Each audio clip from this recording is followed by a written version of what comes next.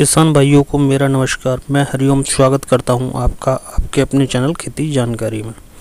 आज हम बात करते हैं धान की रोपित फ़सल में घास की रोकथाम की। किसान भाइयों को हमेशा कन्फ्यूज़न रहता है कि धान में प्रटीला क्लोर लगाएँ या बूटा क्लोर ईसी या ईडब्ल्यू पचास परसेंट लगाएँ या सैंतीस परसेंट। तो आज मैं उन किसान भाइयों का सारा कन्फ्यूज़न दूर किए दे रहा हूँ। वीडियो आपको ध्यान से देखना है और पूरा देखना है, तभी आपको समझ में आएगा।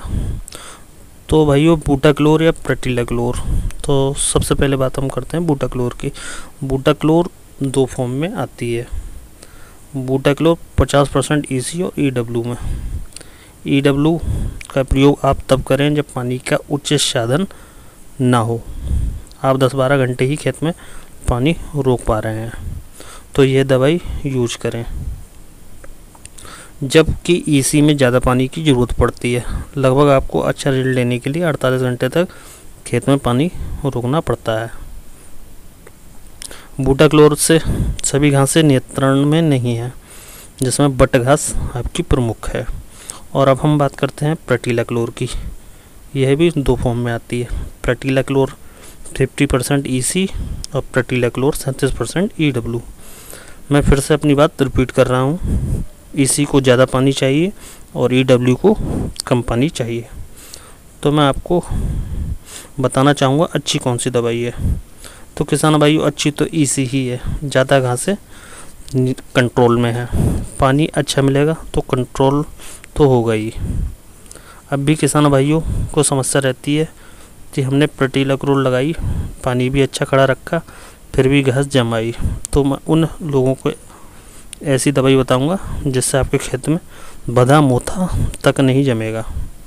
दवाई लेनी है आपको प्रटीलैक्लोर फिफ्टी परसेंट ई सी पाँच सौ एम एल और इसमें मिलानी है आपको यू पी एल कंपनी की साथी। टेक्निकल नेम मैं आपको बता ही दे रहा हूँ। टेक्निकल नेम है इसका पायरा जो सल्फ्यूरान इथाइल दस परसेंट डब्ल्यू पी सौ ग्राम आपको दवाई लेनी है। दोनों को मिलाकर एक एकड़ में छिड़काव कर दें।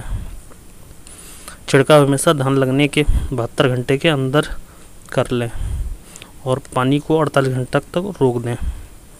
अब किसान भाइयों को ये दुविधा रहती है कि भाई, बूटा क्लोर भी सही है प्रटीला क्लोर है, ये भी ठीक है।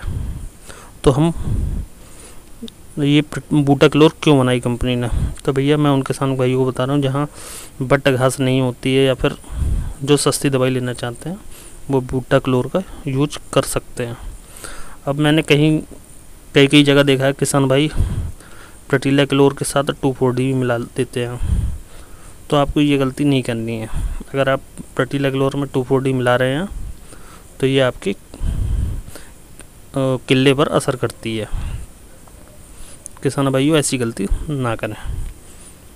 अगर मेरे द्वारा दी गई जानकारी आपको अच्छी लगी हो तो प्लीज़ वीडियो को लाइक कर दें और सब्सक्राइब अवश्य कर लें, जिससे आने वाली वीडियो आपको मिल सके।